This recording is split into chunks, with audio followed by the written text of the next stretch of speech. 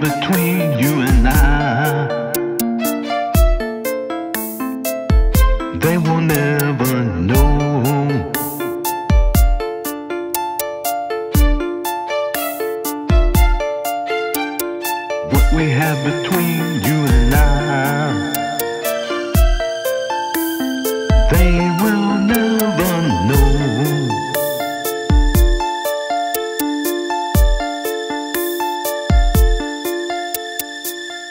sorry I can't come to the phone right now, but leave a sexy voicemail.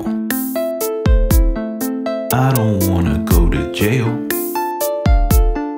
Tell me